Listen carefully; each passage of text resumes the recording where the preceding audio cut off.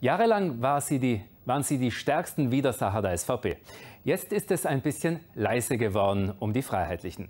Das soll sich wieder ändern. Auf dem heutigen Parteitag in Brixen wurde das neue Parteimotto vorgestellt, und zwar gerecht, vernünftig, unabhängig. Damit wollen sie auch bei den Gemeindewahlen punkten, unter bewährter Führung. Der bisherige Obmann ist auch der neue. Leiter Reber wurde mit 88 Prozent wiedergewählt. Es gab gar keinen Gegenkandidaten. Die einst größte Oppositionspartei will endgültig alle Altlasten und Politskandale hinter sich lassen.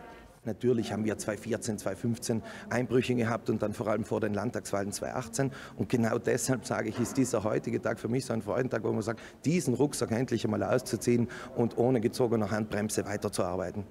Mit einem neuen Motto will man auch neue Wähler ansprechen.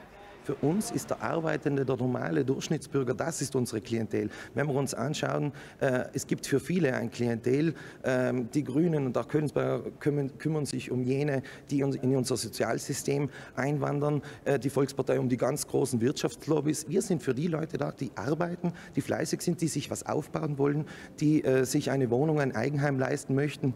Und genau hier fehlt eine Stimme und das sind wir Freiheitliche, die anschauen. Und wir sind auch für jene da, die sagen, ich möchte möchte durch meine Stadt, durch mein Dorf gehen, bei Tag und auch bei Nacht und mich sicher fühlen. Bei den Gemeindewahlen in zwei Wochen treten die Freiheitlichen allerdings nur in elf Gemeinden an.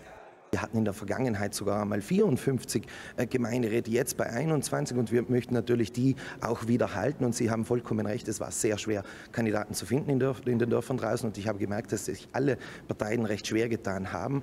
Und ich glaube, dass wir als Politik insgesamt hier aufpassen müssen und Veränderungen auch in den Gemeinden draußen einleiten müssen, damit wir Menschen wieder begeistern, an der Demokratie teilzuhaben.